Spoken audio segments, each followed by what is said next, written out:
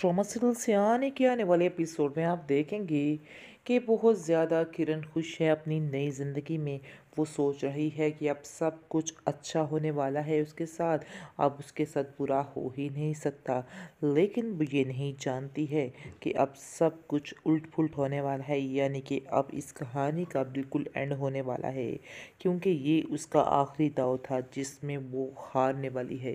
क्योंकि अब आप देखेंगे कि जिसके साथ उसकी शादी होने, हो चुकी है, वो अब साफ़ साफ़ इसको कहेगा कि जितनी जल्दी हो सके अपना सारा कुछ मेरे नाम कर दो। इस पर वो कहेगी कि आखिर ऐसा क्यों कह रहे हो? आगे से वो कहेगा कि तुम्हें मेरी बातों पे यकीन नहीं है। इस तरह से घुमा फिसला के सारा कुछ अपने नाम करवा लेगा। और जैसे ही वो अपने नाम करवा लेगा तो वो सारी फैमिली यहाँ से फ़रार हो जाएगी। उसके बाद किरण के पास रहने के लिए भी ठिकाना नहीं होगा और किरण जो है सिर्फ़ और सिर्फ़ हार बढ़ती रह जाएगी।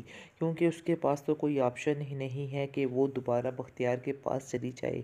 क्योंकि वो जानती है कि उसने बख्तियार और हलीमा की ज़िंदगी को कैसे तबाह कर रखा था और उसकी ज़िंदगी में कोई अच्छा काम नहीं किया था, इसलिए वो दोबारा भी वापस नहीं जाना चाहती है।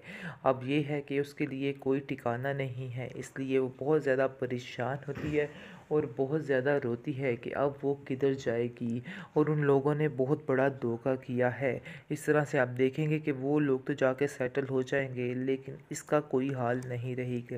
और ये सिर्फ़ और सिर्फ़ पछताती रह जाएगी और पछतावे के अलावा इसके पास कुछ भी नहीं रहेगा।